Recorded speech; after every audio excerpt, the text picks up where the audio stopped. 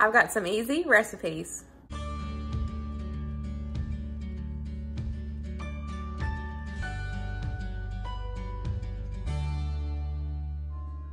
Hey guys, welcome back to my channel or welcome if you are new. My name is Tamara. In today's video, I'm gonna be sharing three super easy and delicious Campbell soup inspired recipes with you guys. All three of these are delicious.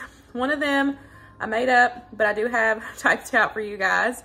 Um, it ended up turning out really good. And whenever that happens, for me personally as well, like, like I know I share recipes with you guys, but when I make up a recipe and it turns out really good, I like that I can type it up now and have it for you guys as well as have it for myself.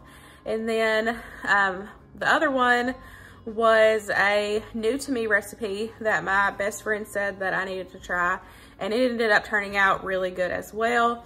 And then the last one has become a family favorite. It is super easy and it is delicious. So I will be sharing all three of those recipes with you guys. So let's go ahead and get cooking and I hope you enjoy.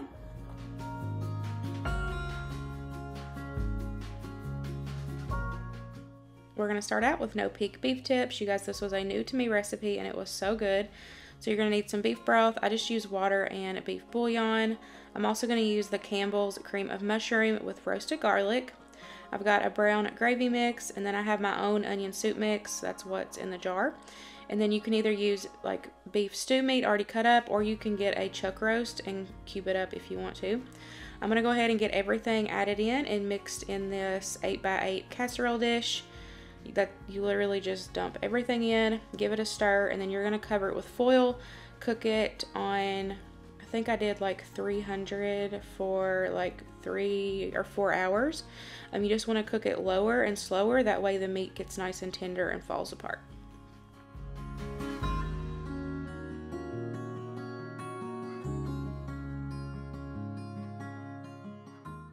I wanted to mention too that you can definitely do this in the crock pot. So either way, they're both delicious.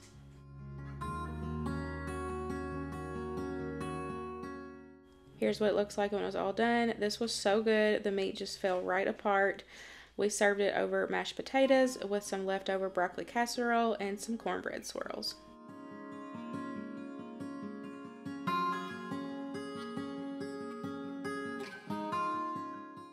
Next up, we're going to do a version of beef stroganoff. So this is just one I come up with, and it ended up being really good, and I will definitely be making it again. So I've got some ground beef there that I have already cooked up and drained, and I've just added it into my crock pot. And then I'm going to go in with that Campbell's can of the beefy mushroom soup. If I had another can of the Campbell's um, cream of mushroom with roasted garlic, I would have done that, but I used my last can for that other recipe. So we're just going in with plain mushroom soup.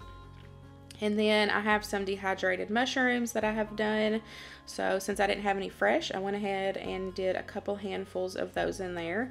And you guys, those turned out so good. You would have had no clue that they were dehydrated. They plumped up just like regular um, mushrooms.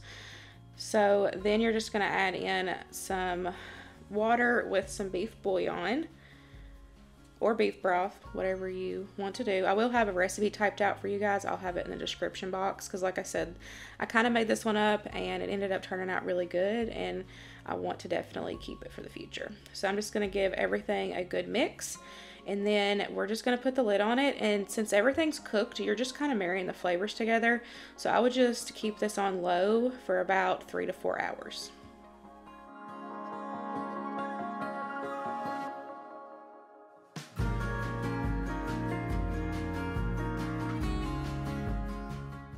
Now it's time to go ahead and cook our pasta to get it added in. I'm just doing about a half a bag of um, egg noodles and I've just salted my water and I'm just going to cook those until al dente. And then I'm going to go ahead and add those directly into the crock pot, give everything a mix. Um, I cooked those to al dente because this was a Wednesday night and I needed to keep it warm for about an hour till we got back from basketball practice. So that way it gave it a little wiggle room for them to not overcook in the crock pot. And then I added in about a fourth a cup of sour cream. I did set that out for about an hour ahead of time just to let it get to room temperature. That way it wouldn't curdle.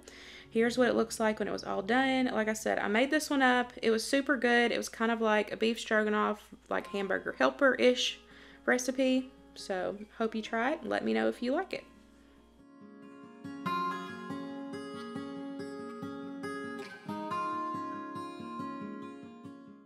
Last but not least is pizza tortellini bake. Now I have shared this one a couple times on my channel, but it has become a family favorite. It is so good.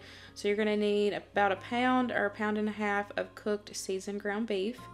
You're going to need a pack of tortellini, some cheese, I've got my homemade spaghetti sauce, and then you also need a Campbell's can of cheddar cheese soup.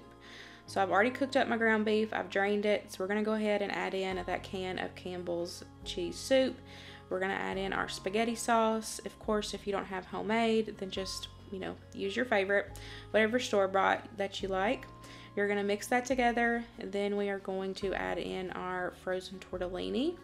And then I'm making mine into two different pans because um, I had one for now and then I froze one for a freezer meal for later.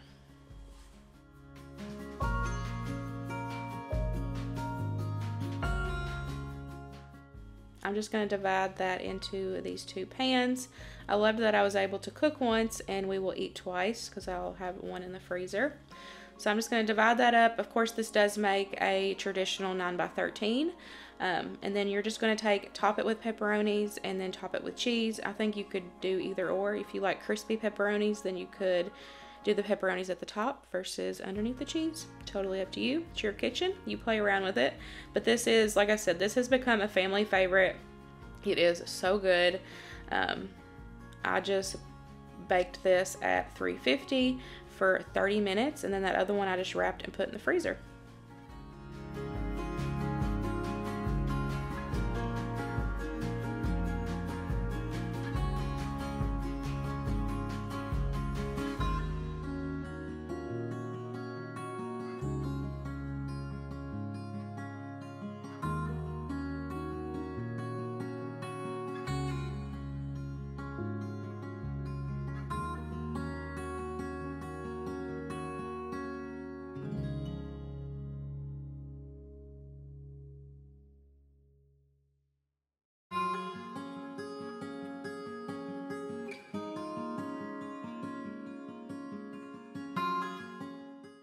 Here's what it looks like after it is done. It is so good, bubbly and cheesy.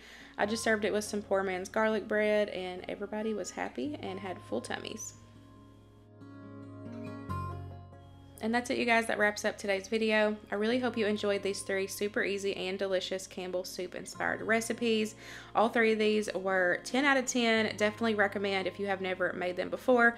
Don't forget, I will have any links in the description box below for you guys for full recipes. I really hope you guys enjoyed it, and I will see you in the next one. Bye, guys.